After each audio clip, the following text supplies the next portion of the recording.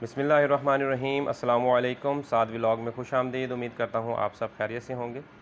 यहाँ आप लोगों को ख़बर देना चाहता हूँ कि करोना वबा की रोकथाम से मुतल इदारे एन सी ओ सी ने बैन अवी परवाज़ों की गिनती अस्सी परसेंट तक, अस्सी फ़ीसद तक कम कर दी है, जिसकी वजह से बहुत से ऐसे पसेंजर हैं जो परेशान हैं कि पाकिस्तान किस तरह से आया जाए। क्योंकि आप लोग जानते हैं कि रमज़ान मुबारक का आखिरी अशरा चल रहा है और मुतहदा अरब अमारात में हज़ारों ऐसे पाकिस्तानी हैं जो पाकिस्तान में आकर ईद अपने में मनाना चाहते हैं। तो जहाँ एनसीओसी ने 80 फ़ीसद तक कमी की है, उस वजह से बहुत से ऐसे पैसेंजर परेशान हैं कि पाकिस्तान किस तरह से आया जाए। तो मैं यहाँ आप लोगों को ये बताता चलूँ कि हंड्रेड परसेंट फ़्लाइट्स जो हैं वो बंद नहीं हुई, क्योंकि काफ़ी लोग एसएमएस वगैरह करके और कॉल्स करके यही मालूम कर रहे हैं कि जी फ़्लाइट्स वगैरह बंद हो गई हैं प्रॉपर तो प्रॉपर फ़्लाइट्स उन्होंने क्लोज़ नहीं की, जबकि 80 परसेंट उन्होंने फ़्लाइटें जो है ना वो बंद कर दी हैं 20 परसेंट फ़्लाइटें पाकिस्तान में आएँगी।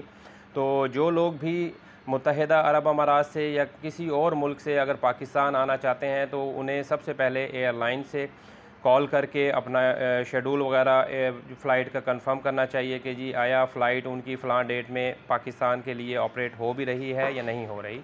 तो इस पाबंदी का मैं आपको ये बताता चलूँ कि इस पाबंदी का जो इतलाक़ है, वो आज पाँच मई 2021 से होने जा रहा है। और परवाज़ों की इस कमी की वजह से पाकिस्तान और अमारात के माबेन फ़ज़ाई रूट पर किरायों में भी इजाफ़ा देखने में आया है। जो टिकटें पहले मुनासिब किराए में दस्तियाब होती थी, अब उनके जो किराए हैं, वो तकरीबन पचास फ़ीसद तक ज़्यादा हो गए हैं, जो कि मेरे ख़्याल में बहुत ही ज़्यादा किराए हैं। तो इस वजह से भी बहुत से ऐसे लोग हैं जो पाकिस्तान आने का इरादा इस वजह से तर्क कर देंगे कि जी फ़्लाइटों के रेट ही बहुत ज़्यादा हैं। तो ईद के मौके पर परवाज़ों में कमी की वजह से किरायों में इजाफा मुतव है। पी आई ए के तर्जुमान ने कहा है कि कौमी एयरलाइन सिविल एविएशन की नई हिदायत के मुताबिक परवाज़ें चलाएगी। हमें बीस फ़ीसद तक परवाज़ें कम चलाने की हालिया पाबंदी की वजह से कुछ फ़्लाइट्स के मुसाफरों को दूसरी फ़्लाइट्स में मुंतकिल करना पड़ेगा। तो सिविल एविएशन पे भी बहुत लोड है कि जैसे ही एनसीओसी का जो इजलास हुआ, उसमें उन्होंने 80 फ़ीसद तक कमी की है।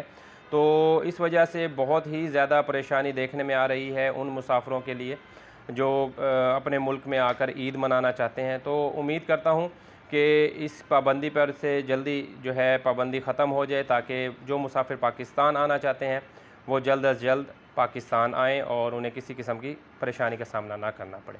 उम्मीद करता हूँ मेरी वीडियो आपको पसंद आई होगी। मेरी वीडियो को लाइक कीजिएगा, शेयर कीजिएगा। अपना बहुत ख्याल रखिएगा। असल